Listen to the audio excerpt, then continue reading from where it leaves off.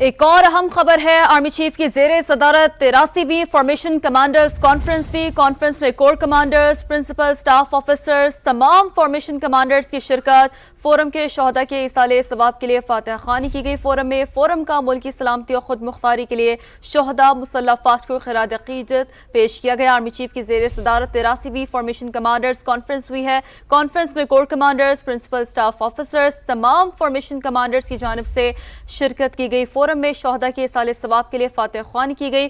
Forum का मुल्की सलामती और खुद मुख्तारी के लिए शहदा मुसल्ह फाज को खराज अकीदत भी पेश किया गया। अहम खबर है सवाल से बात करते हैं, सुमेरा खान ने हमें ज्वाइन किया है। जी सुमेरा, बताइए।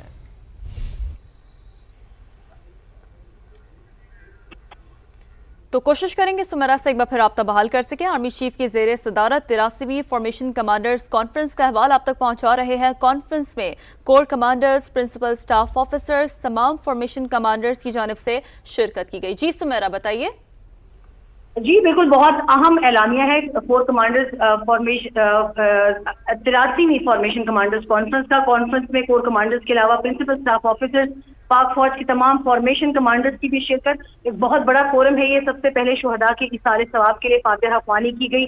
फिर फोरम का मुल्क की हिफाजत, सलामती और खुद मुख्तारी के लिए मुसल्ह अफवाज के अफसरान और जवानों, कानून नाफिज करने वाले इदारों और पाकिस्तानी शहरियों समेत शहदा की अजीम कुर्बानियों को खराज अकीदत फोरम को जियो स्ट्रेटेजिक हालात कौमी सलामती के लिए उभरते हुए चैलेंजेस और मल्टाई डोमेन खतरात से निमटने के लिए पाक फौज की हमत अमली के बारे में आगाह किया गया। सबसे अहम बात बताते चले कि शुरा को पाक फौज को जदीद बनाने फ़ील्ड फॉर्मेशन के, के लिए लॉजिस्टिक सपोर्ट को बेहतर बनाने के लिए नई टेक्निकल जितनी भी इन्वेंशन थी उनके बारे में ब्रीफिंग दी गई है। मगर अफ़गानिस्तान के हवाले से एक मरतबा फिर बहुत वाजह बयान फोरम ने इशू किया है। और उन्होंने अफ़गानिस्तान की सरहद पार से मुसलसल खिलाफ वर्जियों और अफगान सरजमीन को इस्तेमाल करते हुए दहशत गर्दी की मनसूबाबंदी पर सख्त तहफात का इजहार किया। फोरम का कहना था कि पाकिस्तान के दुश्मन पाकिस्तान के अंदर सिक्योरिटी फोर्सेज और मासूम शहरियों को निशाना बनाने के लिए अफ़गानिस्तान को इस्तेमाल कर रहे हैं। फोरम ने दहशत गर्दी के खिलाफ जंग में नए जंगशुदा अजला के अवाम की बेशबहा कुर्बानियों का एतराफ किया। दहशत गर्दी को फैसला कन शिकस्त देने के लिए नए जमशुदा अजला की तरक्की की अहमियत पर ज़ोर दिया। बलोचिस्तान में समाजी और इकतदी तरक्की की ज़रूरत पर भी ज़ोर दिया, ताकि बैरूनी तौर पर प्रोपेगेंडा करने वालों का मुकाबला किया जाए। प्रोपेगेंडा पर एक और अहम जो स्टेटमेंट फोरम से आई है, वो ये है कि प्रोपेगेंडा करने वालों की पुष्ट पनाही गैर मुल्की स्पॉन्सर्ड प्रॉक्सीज के ज़रिए की जाती है, ताकि बलोचिस्तान के नौजवानों को अमन और तरक्की से दूर रखा जाए। मशरकी सरहद पर मौजूदा सूरत हाल और मकबूजा जम्मू कश्मीर में मासूम कश्मीरियों का मावराए अदालत कत्ल के ताज़ा तरीन वाकत का जायजा लिया गया। अकवा मुतहदा की सलामती कौंसिल की करारदादों के मुताबिक हक खुद इरादियत के लिए कश्मीरियों की मुनसिफाना जद्दोजहद में यकजहती का इजहार किया गया। और सबसे अहम बयान इसमें भारत में जो सियासी मकासद के हसूल के लिए बढ़ते हुए फैशिज्म पर अकलीतों, बिलखसूस मुसलमानों के साथ इंसानियत सोच सलूक पर भी तशवीश का इजहार किया। फलस्तीनी अवाम के साथ भी मुकम्मल यकजहती का इजहार किया गया। जंगी जराइम की मजम्मत की गई है। फोरम की गजा की पट्टी के अंदर रफा ऑपरेशन और दीगर तमाम ऑपरेशन को रोकने के लिए आलमी अदालत इंसाफ के फैसले की हिमायत की गई। रियासती इदारों बिलखसूस अफवाज पाकिस्तान के खिलाफ जारी डिजिटल दहशत गर्दी मजमून सियासी मकासद के हसूल के लिए बैरूनी सहूलतकारों की मदद की। के साथ जो मदद की जा रही है शुरा का कॉन्फ्रेंस का ये कहना था इसका मकसद झूठ और प्रोपेगेंडा के ज़रिए पाकिस्तानी कौम में मायूसी पैदा करना और कौमी इदारों बिलखसूस अफवाज पाकिस्तान और आवाम के दरमियान खलीज डालना है। पाकिस्तानी कौम झूठ और प्रोपेगेंडा करने वालों के मजमूम और मकरू अजायम से पूरी तरह बाखबर है और इन नापाक कुतों के आपने तफसीत से आगाह किया। आर्मी चीफ की जेर सदारा तिरासीवीं फॉर्मेशन कमांडर्स के बारे में इस बारे में मजीद बात कर लेते हैं। हमें ज्वाइन किया है सैयद मोहम्मद अली तजियाकार ने। आपका बहुत शुक्रिया सर वक्त देने के लिए। तिरासीवीं फॉर्मेशन कमांडर्स कॉन्फ्रेंस में बहुत सारे उमूर जेर गौर आए हैं। बिल्कुल वाजे कर दिया गया।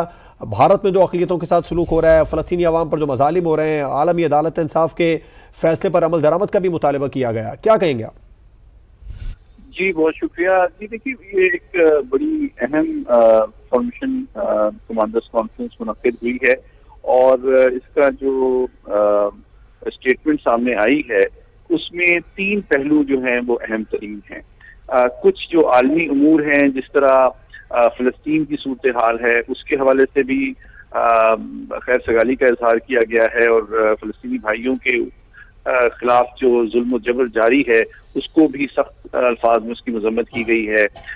इलाकाई सलामती के हवाले से कश्मीर और अफ़गानिस्तान के ऊपर पॉलिसी बयान दिया गया है। अफ़गानिस्तान की जो एक गैर जिम्मेदाराना तर्ज अमल है दहशत गर्दी की पुष्पनाही के हवाले से उसकी भी मजम्मत की गई है। कश्मीरी भाइयों के साथ भी इजहार यकजहती किया गया है और भारत की जो कोता नजरी है मुस्लिम दुश्मन और कश्मीर दुश्मनी के ऊपर मबनी पॉलिसियाँ, उनकी भी मजम्मत की गई है। अलबत् जो ज़्यादातर अहम मतन है, उसमें चार पहलू हैं दाखिली सलामती के, जिनके ऊपर बहुत वाज पॉलिसी पाक अफवाज की जानब से उसका इजहार किया गया है। एक जो है, वो डिजिटल टेररिज्म का है, जो कि बहुत इंपॉर्टेंट है कि जो पाकिस्तान की अफवाज और रियाती इदारों के खिलाफ जो प्रोपोगंडा किया जा रहा है उसको कौमी सलामती के खिलाफ करार दिया गया है और उसकी सख्त अल्फाज में मजम्मत की गई है।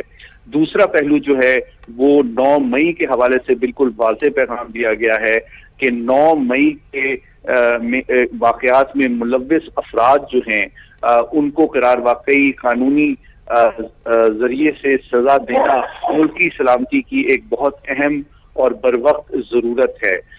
तीसरा पहलू जो है, वो टेररिज्म के हवाले से है कि न सिर्फ़ पाक अफवाज की जो कुर्बानियाँ हैं, उनका, उनको खराज तहसीम पेश किया गया है बल्कि इसके फैसला कन अंजाम तक पहुँचाने के अज़म का इजहार भी किया गया है। और जो चौथा पहलू है, वो पाकिस्तान की इकोनॉमिक सिक्योरिटी में, पाकिस्तान की सिविल जो क्यादत है और सियासी क्यादत है, उसके साथ मिलकर माशी मामला को हल करने और चैलेंजेस पर काबू पाने के अज़म का अदा किया गया है। तो मैं समझता हूँ, बहुत जाम अंदाज में इलाकाई, आलमी और दाखिली सलामती के मामला के ऊपर एक जो फौज की हाई कमान है, उसने अपनी सोच और पॉलिसी की इस बयान के ज़रिए से तर्जुमानी की है।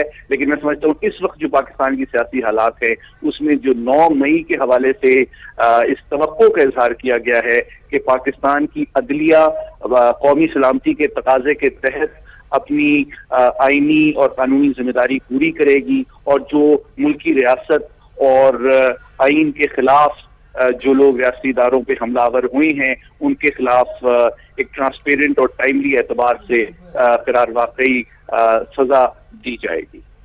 ठीक है, बहुत शुक्रिया सैद मोहम्मद अली साहब। मेरे साथ मौजूद थे अपना एनालिसिस बहुत ही कॉम्प्रहेंसिवली समा के नाजीन के सामने उन्होंने रखा। तो आर्मी चीफ की जेर सदारत, तिरासीवीं फॉर्मेशन कमांडर्स कॉन्फ्रेंस हुई कॉन्फ्रेंस में corps commanders principal staff officers तमाम फॉर्मेशन कमांडर्स की जानब से शिरकत की गई। फोरम के शहदा के साल सवाब के लिए फातह खानी हुई। फोरम का मुल्की सलामती खुद मुख्तारी के लिए शहदा मुसल्ह फाज को खराज अकीदत पेश किया गया। दहशत गर्दी के खिलाफ जंग में नए जमशुदा अजला के अवाम की बेश बहा कुर्बानियों का एतराफ़ किया गया। दहशत गर्दी को फैसला कन शिकस्त देने के लिए जमशुदा अजला की तरक्की की अहमियत पर ज़ोर दिया गया। नौ मई के मनसूबा साजों मुजरमों को इंसाफी कटहरे में खड़ा किया जाएगा। फोरम में ये गुफ्तु की गई। नौ मई की हौसला अफजाई करने वालों, सहूलतकारों को भी इंसाफ के कटहरे में खड़ा किया जाएगा। फोरम में यह भी गुफ्तु सामने आई। रियासती इदारों के खिलाफ डिजिटल दहशत गर्दी बैरूनी सहूलतकारों की मदद से की जा रही है। शुरा की जानब से यह कहा गया, डिजिटल दहशत गर्दी का मकसद कौम में मायूसी फैलाना है। शुरा की जानब से यह कहा गया मकसद। कौमी इदारों बेखसूस अफवाज पाकिस्तान और अवाम के दरमियान खलीज डालना है। फोरम में गुफ्तु की गई। पाकिस्तानी कौम झूठ और प्रोपोगेंडा करने वालों के मजमूम मकासद से बाखबर है। शुरा की जानब से ऐसा कहा गया।